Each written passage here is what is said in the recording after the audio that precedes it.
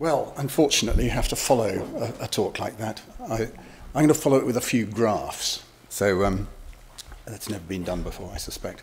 Um, this, this is going to be a double act. Um, Tom is going to shout at me when my time's up. Um, so I'm going to talk about yes, climate change and climate adaptation. So basically, I'm not, I'm not going to talk about the science of climate change and all of that. Uh, so um, if Nigel Lawson's in the office, in the uh, audience, I apologize for that. I'm not going to try and solve that dilemma and assume that people have a vague agreement that there's a relationship between climate change and um, carbon emissions. So we have, we have two challenges as architects. Um, one is mitigation, which is to reduce emissions so that the, the changes that face us in the future will be uh, lessened. Uh, and the other is adaptation, which is to recognize that these changes are underway already, that there are future changes, and we have to design differently. We, so we're, we're designing on the basis of projections rather than past experience, and no one's ever done that before. And there are some things that you can do uh, uh, that will address both agendas, um, but there are some that work in direct opposition. Um, so a classic example is all the schools we've designed recently, you get lots of BREEAM points for having lots of daylight, and no one really thinks about the amount of solar gain you get as a consequence. Um, so uh, we have to watch those things, and clearly we still have to design beautiful buildings. Um, because if you design worthy but dull buildings, they will be thrown away. And worse still, if you design uh, unworthy but dull buildings, they will certainly be thrown away, dynamited. Um, so the, the headlines for the UK, I think we're all familiar with these. What we can expect is hotter, drier summers, warmer, wetter winters, uh, more extreme events, both in terms of frequency and magnitude, and increasing sea level rise. I won't show you the graph of sea level rise, which is deeply frightening. Um, to get one's head around this, um, I use things like climate analogies, which scientists hate, but I'm going to use it anyway. You could say that the, the climate of London in 2080 might be similar to that of Marseille today, the summertime climate, summertime temperatures. Not everything will be the same, of course, but you can see that's a street in Marseille, and if you look out of the window, uh, you can see the streets here are different, and th that urban form and the lifestyle have grown up together over millennia to fit. And so these houses, the, the streets are narrow, they've got shutters, the siesta, which is of course disappearing. Um, these are all mechanisms to cope with, with that particular climate. And we're faced with the challenge of trying to convert a built form that has grown up with, a, with a, an established climate and convert it to a new climate, and no one's done that before. So some things don't change. So things like the midday summer sun angle uh, in Marseille, um, and that's the midday summer sun, sun angle in, in London. So you cannot lift solutions wholesale from one climate and dump them in another. You can learn a hell of a lot, um, but some things don't change. And again, this is the challenge that we're designing for a climate that no one has in fact experienced before. So we have to go back to first principles and understand the building physics to, um, in order to make um, uh, a new architecture. Um, when I did a, the report that um, underpinned the um, Technology Strategy Board Design for Future Climate project, which Irena referred to, I sort of broke down the design agenda into just three simple topics, comfort, construction, and water, either too much or too little. When I came to write a book, um, which hopefully Tom will sh uh, plug shamelessly in a moment, um, at the, looking at what had been learnt from these, uh, the first tranche of projects, the first 25, there was so much interest in, in comfort as, as the challenge that that took up three chapters rather than one. And I think that's, um, it's partly because there's information that you can use to investigate uh, the impact of higher temperatures, um, but also it's a fantastic opportunity to develop a different architecture, to develop um, change in our architecture. So a, a certain degree of fascination with designers. Um, in trying to come up with proposals for all of these uh, these issues, and there are no solutions. I think that's really important. That um, people talk about future-proofing buildings, which is just a ridiculous concept because um, the thing is, we don't know how much it's going to change, we don't know how long it's going to take. So there are no solutions, there's, there's strategies only. But there is a context. Um, well, the first element, I think, is that climate, climate change is a regional issue. The problems that face people in the southeastern corner of this country, in London and in cities particularly, are not the same as those that are, that are faced in rural Scotland. And there's some things that are absolutely fundamental in one place that are, uh, you can ignore in others. I live on a hill in Bath. I'm not interested in flooding particularly. Uh, but if I lived in Hull, anyone here from Hull? Oh dear. Right. or no, other low-lying uh, places, then, then flooding is, or you live by a river that floods regu regularly, that is an absolute um, uh, focus for your, your, your design. The existing stock is also the, the, the crucial uh, focus, really. We will talk about new buildings all the time, but actually this is a conversion job, and actually any new building is, becomes an existing building rather rapidly, and that, will, that too will have to be converted over time. Um, and similarly, you can't just throw fossil fuel energy at this problem. You can't just simply say, well, we'll you'll just buy in some more air conditioning, because in the future, energy will certainly be more expensive, probably scarcer. Um, so we have to be ingenious. We have to use our skills as designers and our understanding of the way buildings work so that most of the job is done by the building, not by the services. Um, there are a number of tactics you can employ. Um, you, there's no need... Um, some things can be just um, dealt with by behavioural change. I mean, for example, uh, when you're designing a building, you, you quite often you look at the worst condition. So mid-afternoon in, in, in a hot summer, it's, it's a bit hot, so you put in air conditioning just to solve a four-hour problem on a few days. Um, it'd be much more efficient simply to take the afternoons off. You know, the siesta is a, a rather better concept. So in terms of big interventions that could be made, which would need to be made at a sort of government level, there are things we can do. I mean, we have daylight saving, for example. We could have a, we could change uh, our working hours and start working earlier in the day when it's cooler. You could take August off, which is what they seem to do in Denmark whenever I want to buy Velfac windows, for example. But you know, there are other solutions.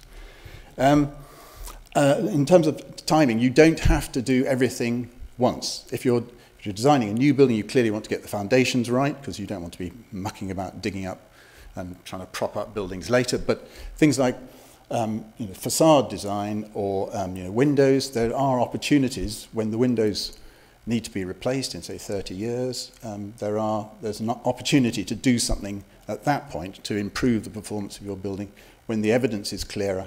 Um, so there are a number of opportunities. And understanding those opportunities, making sure that you don't design them out is a really important thing.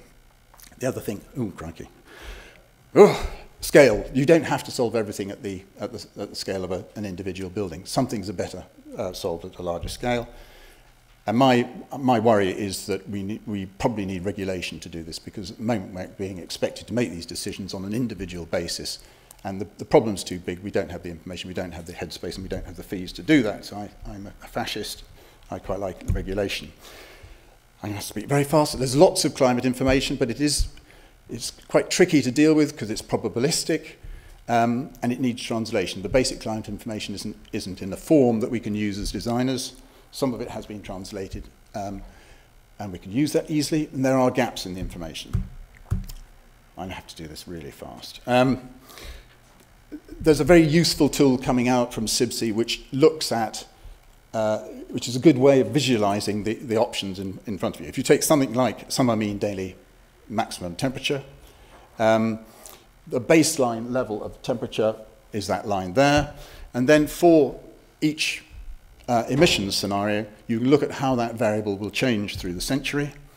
Um, it's probabilistic in nature, so you have a central estimate, a likely range, and a very likely range. So it's very unlikely that the climate will not rise by more than two degrees under that scenario by 2080. And these um, exist for all the, the three scenarios that the UK uh, climate uh, information is presented in. No difference at all in the 2020s, no, so you don't need to worry about choosing a scenario, but there is a difference between the, the past and now. So actually we certainly shouldn't be designing buildings on the basis of uh, historic data. In a, climate, in, a, in a changing climate, you need to be designing ahead of the curve.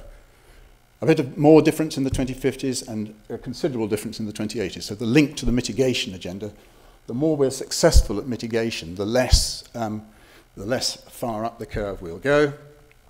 If you take any, it is a moving target. So if you take a, a, a sort of high value early on in the century, it becomes a medium value in the mid-century, and by the end of the century, it's a low value. So my view is one can take a target and just simply see how long that target is valid for through the, through the century. So the only variable is time, uh, so you don't have to worry about all these other complexities.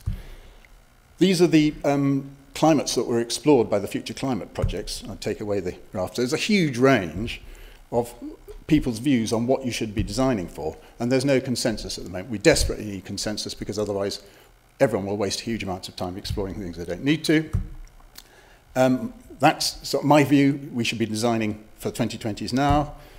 Um, I like to link these back to global change. So that's a two degree rise, that, that, that line I showed before.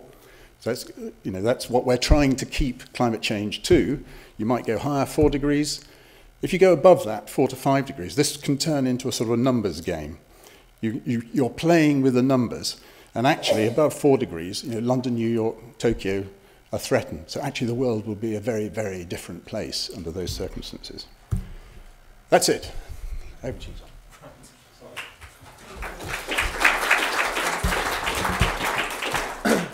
Um, this is one of my favourite films. It's, it's from Brazil, and it, it kind of highlights one of the, the strategy to get rid of uh, sort of overheating in spaces. There's big problems with chucking more M&E, of course, into buildings, volatile um, price index of commodities that they rely on, and people don't don't like M&E. We found from uh, speaking to occupants that that they, they inherently don't trust all these amazing systems. I, I really like this slide. Again, another shot from Brazil where you have a vigilante HVAC engineer um, who is in a full SAS kit. And it's kind of, this is how I think clients feel how uh, sort of much of a, a bespoke profession this has become, and then there's a sort of deep mistrust in, in, their, in between their eyes that I think is quite pertinent and relevant. Um, very quickly, this is, is from a survey that we undertook on one of these studies that I'm going to try and present, although I may only do one.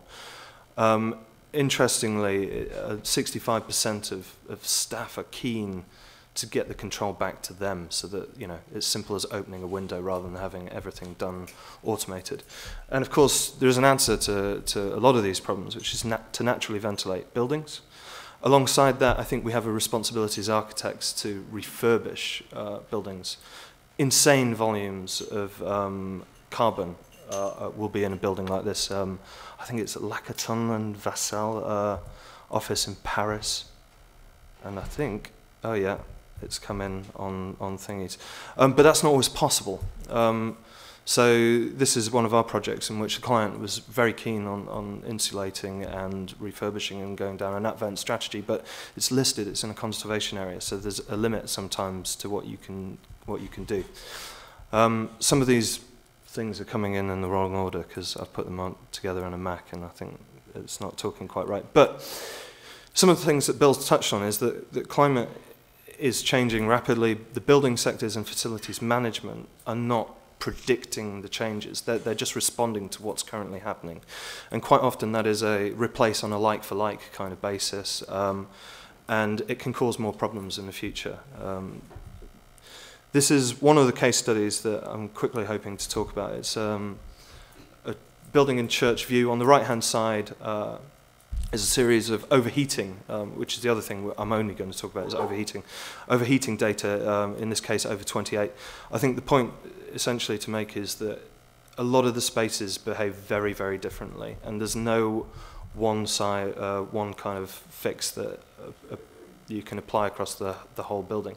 The other thing that is definitely worth touching on is that an incremental approach we feel is a lot more beneficial. Um, because it gives a lot more flexibility in the future and it will cost you a lot of money, a lot less money. There's no point in putting in all singing, all dancing windows now if they're not going to work. Um, well, they're not going to have a lifespan that's going to take them to 2080 when they're designed to work for. Um, I think I'll only present one, one study, actually, just because I'm already up on time. But essentially, what the way that we've approached this problem with TSB is to look at a series of, of, of adaptations on a room by room basis, and then you see how effective different adaptations are. Um, there are huge variants in, in what is effective in different spaces.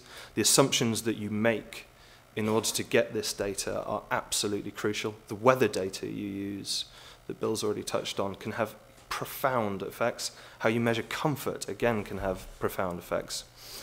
And then the, in the intention, having worked out which uh, interventions are best for which spaces, we then stack them on top of each other using, in this case, um, a comfort threshold that predicts human uh, ability to adapt to it, and build up a strategy for for, for different spaces that involves different interventions at different stages. Now, there are loads of advantages of this. Um, in the first instance, it's found to be a lot cheaper to go down this route. Big savings in the case of this building, about 3.7 million. Hugely important for facilities management and building users who then get to understand when rooms need upgrading potentially. They can use data that they collect from those rooms to see how true they are to behaving to the model.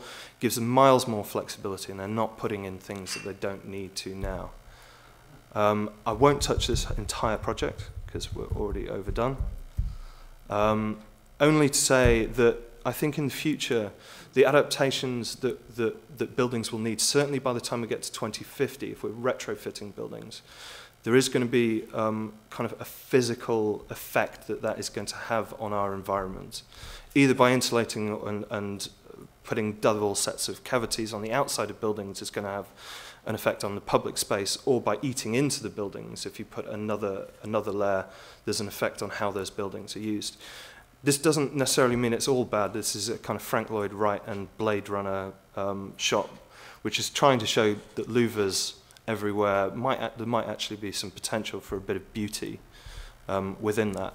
And now, this is a book that I haven't read, but I've heard on great authority uh, that it is exceptionally good, and I would urge you all to purchase very many copies. And I think that's all we've kind of got time for, I'm afraid. So